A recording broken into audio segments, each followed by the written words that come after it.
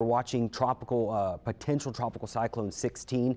It is expected or forecasted to become Nestor later today. The hurricane hunters are flying out there this afternoon to investigate it. Once we actually get some data on this, it's probably going to become Nestor. Here's the latest track. You notice tracking the center of the storm inside the cone. That's where the center goes. That is just off the mouth of the Mississippi. So, of course, the rainfall, the winds can stretch out beyond the center of that cone. We're talking right down south of the area by tomorrow afternoon into tomorrow evening before it makes landfall somewhere along the Florida Panhandle is what it looks like at the moment. Notice we're not really forecasting this to become very strong 50 mile per hour sustained winds. That is a tropical storm.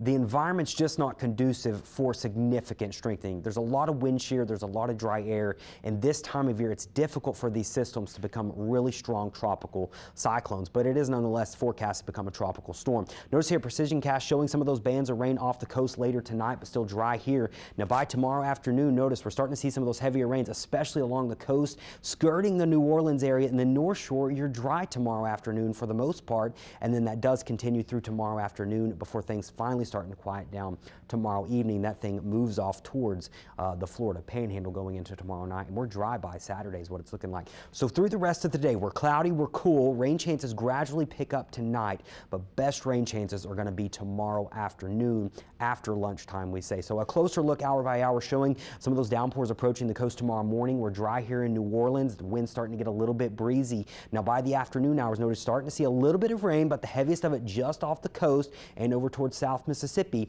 And then as we go into tomorrow afternoon, into the early parts of the evening, we're still seeing some of those downpours across the area before things finally start to clear out tomorrow night. And then by Saturday, notice still maybe some clouds, some wraparound showers Saturday morning, but by Saturday afternoon and evening, I think we're going to start to dry out and see some sunshine. So the rain chances, the gradient for these rain chances are going to be, it's going to be a very tight area where we don't see any rain and then we see maybe a little lot of rain along the coast. So greatest rain chances tomorrow along the coast. You get closer to New Orleans, about a 40 to 50% chance, and then that continues to drop off as you go to the North Shore. And that's simply because these systems like this, they're very lopsided. All the rain is on the east side, all the severe weather is on the east side. So that's what we're expecting with this one.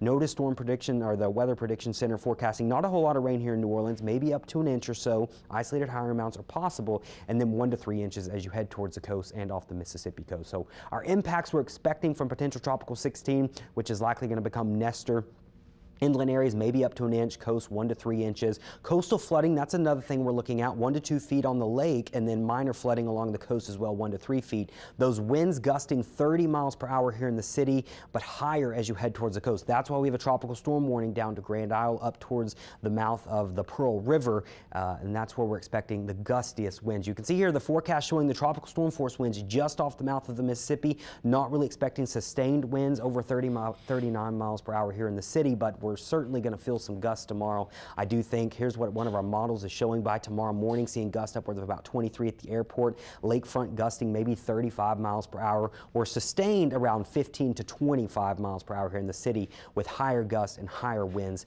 just off the coast. Not really expecting storm surge issues. We are going to have minor coastal flooding, but those storm surge watches and warnings are over in Florida. We do have coastal flood advisories. It includes all areas around the lakes, all areas along the Mississippi Sound, and all areas off the Louisiana coast. Coastal areas one to three feet above normal, lake areas one to two feet above normal. So here's what we've got going on. Tomorrow, about a 40% chance of those showers, heavy rain as we go into the afternoon hours. Better rain chances as you head towards the coast. And those rain or those winds are going to be a bit gusty tomorrow afternoon. And that does include a higher wind gust as you head closer to the coast. We dry out by Saturday. Saturday is looking pretty nice.